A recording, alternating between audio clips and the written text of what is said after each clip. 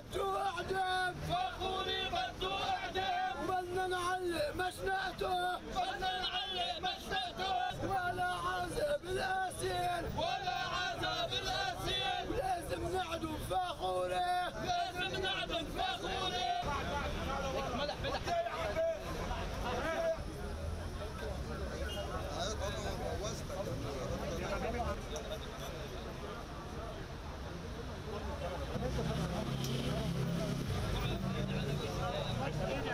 مطالبة من المحكمة العسكرية أول شيء اللي هو العقاب بالإعدام شون أند لعامر الفخورة ولكل أمثاله اللي داخل لبنان أو اللي خارج لبنان اللي عم بيحاولوا إنه يمسحوا ملفاتهم ليرجعوا يرجعون على لبنان.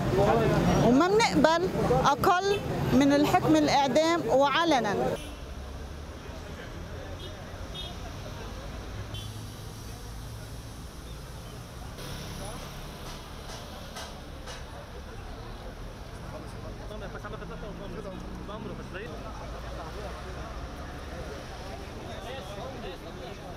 تم إحضار الموقوف.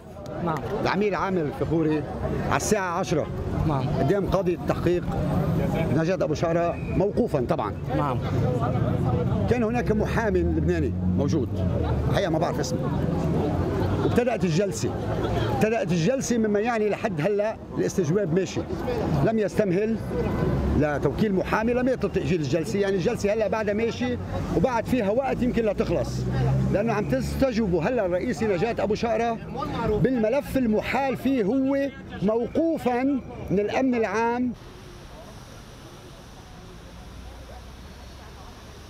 فعم تستجوبوا هلا بهالجرائم. وهالجرائم عم فيها أشياء جنحيه فيها أشياء جنائية.